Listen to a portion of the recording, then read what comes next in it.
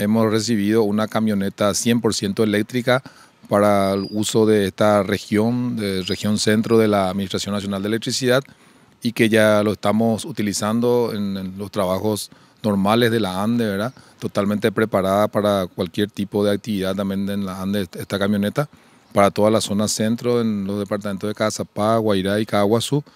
Y realmente aumentamos la dotación de vehículos con, este, con esta camioneta y es un adelanto también para nosotros porque ya lo estamos haciendo con el sistema totalmente eléctrico sin ningún efecto para el medio ambiente, ¿verdad? Y la ANDE como institución está incentivando y fomentando la utilización de vehículos eléctricos en el Paraguay.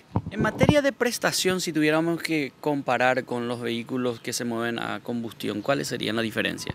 Y yo creo que tiene un buenísimo andar, tiene un buenísimo confort también, es de con caja automática. Nosotros en todos los otros vehículos que tenemos en la ANDE no teníamos con caja automática. Eh, también el ahorro de combustible, ¿verdad? En el monto, porque, y en la parte del lubricante también, eh, con 30 mil guaraníes de kilowatt hora que uno estamos haciendo el cálculo, nosotros ya podemos volver a recargar 100% la batería que tiene este como, como eh, la camioneta en sí.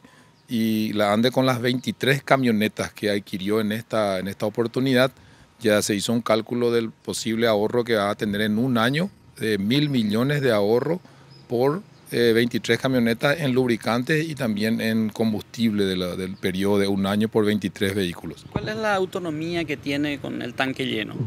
Se demuestra que tiene una autonomía de 500 kilómetros, pero con el uso de la luz y el uso del acondicionador de aire eh, se reduce a 330 kilómetros aproximadamente y está comprobado porque ya lo estamos utilizando nosotros aquí.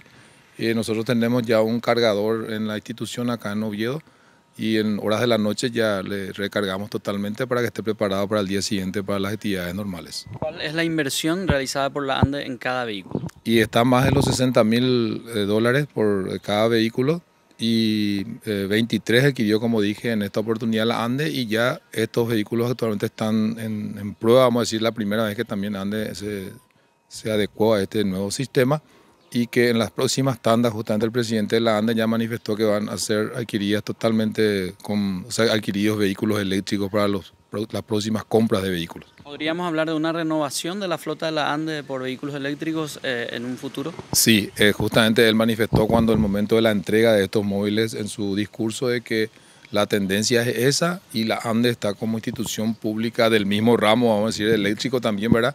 Eh, obligada y ya está también justamente adecuándose a ese sistema y fomentando e incentivando la utilización de vehículos eléctricos en todo el Paraguay como una tendencia mundial también. ¿Cuál es la, procedencia del vehículo y la empresa proveedora en Paraguay? Es de procedencia china y la empresa Timbo es la que ganó la licitación.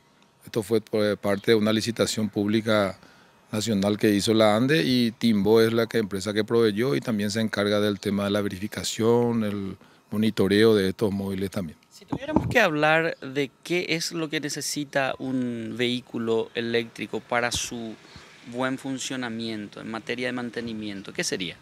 Yo creo que eh, también, lógicamente, como todos los vehículos merecen de un buen cuidado, eso es lo que más nos encargó el presidente de la ANDE, que le demos un, un buen uso, un buen cuidado.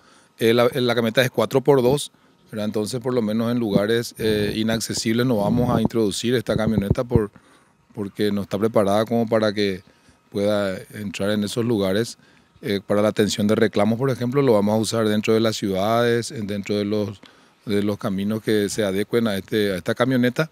Y realmente está preparada también como para, para, para cualquier tipo de actividad, ¿verdad? O sea que no, no, no existe una gran diferencia solamente en ese tema para nosotros que el 4x4 y 4x2.